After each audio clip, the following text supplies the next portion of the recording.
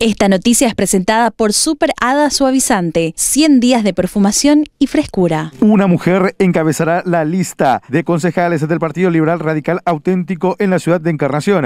El pasado domingo, en los comicios se impuso la señora Natalia Enciso de Orelloni. Contenta realmente por los resultados. Eh, fue un trabajo de dos años prácticamente, un poco más, que estuvimos trabajando. Eh, fue lo que desde un principio habíamos hablado con, con, el equipo que había tres cosas que yo tenía que cumplir y hacer, que era uno conocer los barrios para poder conocer las necesidades y en base a eso también presentar propuestas de trabajo a ellos, ¿verdad? Y eh, lo segundo que tenía que hacer era el relacionamiento con las personas, porque si bien siempre estuve en la vida política acompañando a mi esposo, este es otro escenario. y, ahora. Claro, eh, ya estaba en esto, pero es, otra función la que estoy ejerciendo ahora, ¿verdad?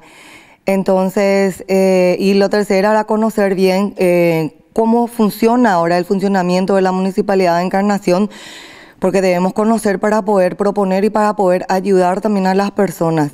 Y eso fue lo que hicimos en todo este tiempo, ¿verdad? Eh, relacionarnos con la gente, hablar, conversar, llevar nuestra, nuestra, mm, nuestro mensaje a los vecinos.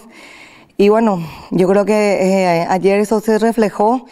Si bien esto no nos asegura nada porque es solamente posicionarse en la lista, pero realmente es un orgullo poder encabezar la lista 2 del PLRA. Ahora los objetivos son descansar un poquito, ¿verdad? unos días, reponer energías eh, y volver a reunir. Tuvimos una, unas elecciones o una campaña muy atípica, con muchos inconvenientes por la pandemia, eh, otros problemas de salud también por ahí de repente, ¿verdad?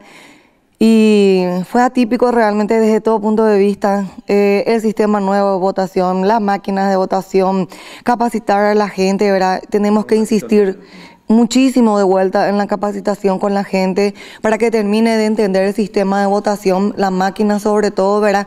El objetivo era descansar y después ya volver a reunir, a reunirnos como lista ya para planificar y el equipo también, porque igual las candidaturas siguen siendo preferenciales. El mismo sistema que las internas, ya no, eso ya no cambia, ¿verdad? Eso, eso volvemos siempre a la lista, pero el voto es preferencial. Clara victoria de la lista 42 en el Partido Liberal Radical Auténtico. En la lista de 12 tendrá a